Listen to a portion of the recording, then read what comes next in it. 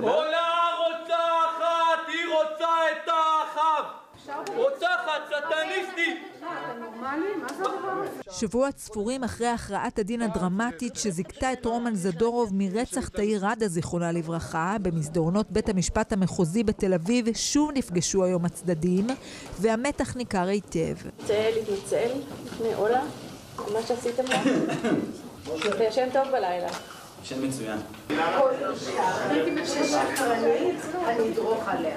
אני לא במיטו. שיחליטו אותי, אני לא במיטו. לא. מהצד האחד אולה קרבצ'נקו, מי שכונתה א' ק', הפעם בתפקיד התובעת בתביעת הדיבה שהגישה נגד עורך דינו של זדורוב יורם הלוי, יוצרי הסדרה צל של אמת ובן זוגה לשעבר אדיר חבני, לאחר שרמזו באופן בוטה על הקשר שלה לרצח הנערה. אני שמחה שהגענו לים הזה, כאילו אני חיכיתי הרבה מאוד שנים. אה, אני לא מאמינה שמנהלים בכלל איזשהו משפט בציבור, בתקשורת, אה, משפט עם וכיכר, מה שניסו לעשות לי.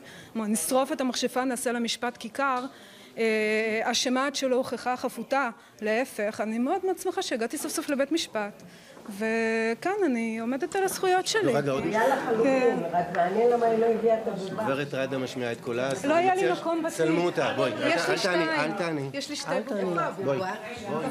אה, חבל. מי שבאה לחזק דווקא את הצד הנתבע היא אמה של תאיר ראדה, שלא נשארה אדישה בלשון המעטה לצדק שאולה מחפשת, כשתוך כדי מהומה מסביב היא מתפרצת לדבריה. כן מתייחס השופט קולה לחקור אותה ובעניינה על הקטע של השותפות שלה ברצח. זאת אומרת, גם כל התשע שנים שהיא נחקרה ונחשדה כחשודה ברצח, אני תקווה מאוד מאוד, ואני אלחם על כך, שהחקירה תיפתח, ושם מי שרצח את העיר יקבל את עונשו אני מאוד מכבד את גברת רדה, אני מאוד מצטער באסון הנוראי שהיא חוותה, אבל הניסיון להשאיר את אולה קשורה לתיק של הרצח של הבת שלה, זה ניסיון שאני לא מוכן לתת לו יד, והוא לא יקרה. אולה תובעת גם את בן זוגה לשעבר אדיר חבני, שלטענתה רקם נגדה עלילה זדונית כנקמה לאחר פרידתם.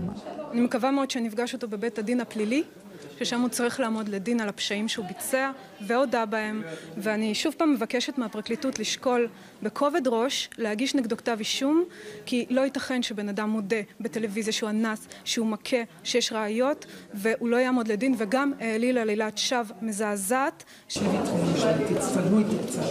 מי שבכל זאת בחר שלא לדבר ביום הזה למצלמה הוא דווקא הסנגור והנתבע ירום הלוי, שהתבטא באופן נחרץ כלפי אולה, שקיבלה היום עוד הוכחה כואבת בבית המשפט, שאפשר להמשיך ולהשחיר את שמה.